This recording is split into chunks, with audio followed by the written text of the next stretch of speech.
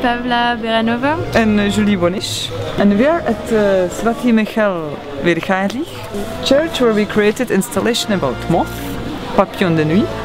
And uh, basically we want people to cross the light and experience something unusual.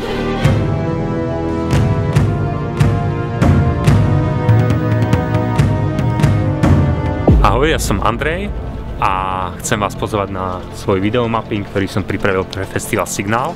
Je to videomapping, ktorý nepoužíva software na generovanie obrazu, ale používa živé formy, ktoré sú všade okolo nás. Používam mravce, žeruchu a mikroorganizmy. Tak sa príďte pozrieť na revové nádvorie Klementína.